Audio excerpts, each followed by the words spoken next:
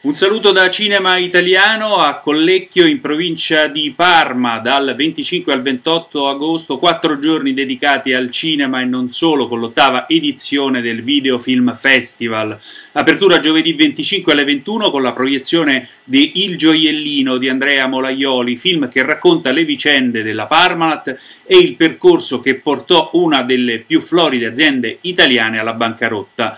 Molaioli parla del prima delle vicende interne alla società e alla famiglia che portarono al crack e ferma il racconto al momento dell'arresto dei responsabili, tralasciando gli aspetti successivi ed evitando, lasciandolo al pubblico, ogni giudizio in merito alla vicenda.